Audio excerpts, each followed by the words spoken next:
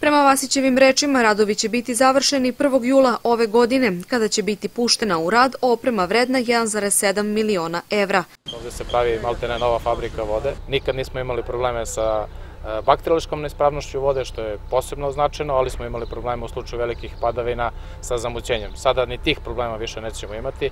Ovde se instaliraju novi filtri, imamo novu rezervu vode za ispiranje tih filtra ako dođe do takvih problema i ja mislim da je to značajan napredak e, za kvalitetno snabdevanje svih građana. Ono što je meni posebno interesantno kada sam razgovarao sa ljudima iz Zavoda za zaštitu zdravlja, odnosno Zavoda za javno zdravlje, što su mi rekli da se i kvalitet vode poboljšao s obzirom da su ispune poput antracita i još nekih poboljšale kvalitet vode, jer smo mi uvijek imali dobru vodu sa kavaka, a ovde je voda bila takođe ispravna, ali su neki mislili da je sa kavaka bolja. Sad je nivo kvaliteta vode koji će ovde snabdevati grad potpuno isti kao voda sa kavaka.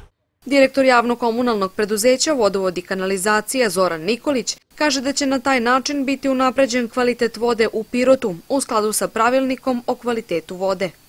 Mi nikad nismo imali prevelikih problema, kažem, kada je kvalitet u pitanju. Mi nemamo teške metale, nemamo arse, nemamo neke druge stvari koje ima u Vojvodini, ali, kažem, želeli smo da otklonimo i mutnoću i mislim da ćemo u tome svakako uspeti kada ovo bude, čini mi se, možda za jedno mesec dana sve gotovo. Pored toga, povećali smo i kapacitet, znači dosta da smo ovde imali negde oko 200 litara u sekundi, to je bio kapacitet ovog postrojenja crpnog, a sada ćemo imati 270 litara, tako da će na neki način i grad imati veću količinu vode u letnjim mesecima kada to bude najpotrebnije.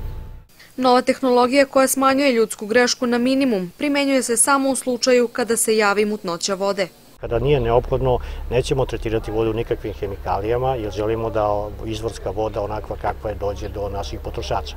Ali mešač e, vode i sva tehnologija koja je potrebna da se ta mutnoća, koja može da bude i preko 20 tentu jedinica, da svedemo do jedne, stoji nam na raspolaganju.